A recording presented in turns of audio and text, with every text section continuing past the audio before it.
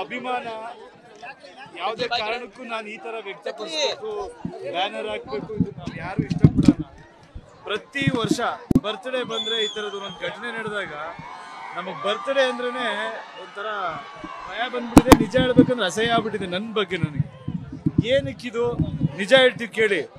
ಅವರು ಎಲ್ಲಿಂದನೋ ಕುತ್ಕೊಂಡು ಪ್ರೀತಿಯಿಂದ ನಮ್ಗೆ ಹರಿಸಿದ್ರೆ ಸಾಕು, ಅದೇ ನಿಜವಾದ ಬರ್ತ್ಡೇ ನಿಜವಾಗ್ಲೂ ಈ ವರ್ಷ ಬರ್ತ್ಡೇ ನಾನು ಮಾಡದೇ ಇರೋದಕ್ಕೆ ಕಾರಣನೇ ನೀವೇ ಹತ್ತು ಹದಿನೈದು ದಿನಗಳ ಮುಂಚೆ ಎಲ್ಲ ಕೋವಿಡ್ ಕೋವಿಡ್ ಅಂತ ಎಲ್ಲ ಶುರು ಮಾಡಿದ್ರಲ್ಲ, ಯಾರಿಗೂ ತೊಂದರೆ ಆಗಬಾರ್ದು, ನಮ್ಮಿಂದ ಈಗ ನಮ್ಮ ಬರ್ತ್ಡೇ ಅಂತ ಅಲ್ಲಿ ಬಂದು ಯಾರಿಗೂ ಏನು ತೊಂದರೆ ಆಗಬಾರ್ದು, ಎಲ್ರು, ಎಲ್ರಿಗೂ ಹಾಳಾಗೋ ಚಾನ್ಸಸ್ಗಳಿರುತ್ತೆ ಅಂತಾನೆ ನಾವು ಬೇಕು ಅಂತಲೇ ಹೆಂಗ್ ಹೇಳೋದು, ಬೇಡ ಅಂದರೂ ಬೇಜಾರು ಮಾಡ್ಕೋತಾರೆ ಅಭಿಮಾನಿಗಳು.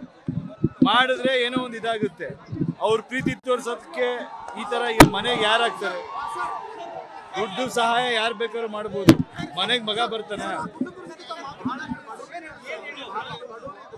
ಏನ್ ಹೇಳ್ತಾರಪ್ಪ? ಮನೇಲಿ ಮಕ್ಳು ಕಳ್ಕೊಂಡವ್ರು ಏನ್ ಹೇಳ್ತಾರೆ? ನಮ್ಮ ಮನೆಗಳಲ್ಲಿ ಸಾವಾದ್ರು ಅದೇ ತಾನೆ. ಏನ್ ಹೇಳಕ್ ಸರ್ ಹೇಳಿ? ಏನ್ ಕೊಟ್ರು ಮಗ ಮಗ ಬರ್ತಾನ? ಅಥವಾ ಈಗ ಹುಡುಗರುಗಳು ಇನ್ನೂ ಇಪ್ಪತ್ ಇಪ್ಪತ್ತೈದು ವರ್ಷ ಹುಡುಗರು. ಅನುಕ್ಷಣದ ಸುದ್ದಿಗಳಿಗಾಗಿ Vistara news YouTube channel subscribe ಮಾಡಿ. ಹೊಸ ಸುದ್ದಿಗಳ ನೋಟಿಫಿಕೇಶನ್ಗಾಗಿ ಬೆಲ್ ಐಕಾನ್ ಕ್ಲಿಕ್ ಮಾಡಿ. Latest ಅಪ್ಡೇಟ್ಸ್ಗಾಗಿ W W W dot Vistara news dot com ವೆಬ್ಸೈಟ್ಗೆ ವಿಸಿಟ್ ಮಾಡಿ. ಅಂಗೈಯಲ್ಲೇ ಜಗತ್ತಿನ ಸುದ್ದಿ ತಿಳಿಯಲು Vistara news Kannada app download ಮಾಡಿ.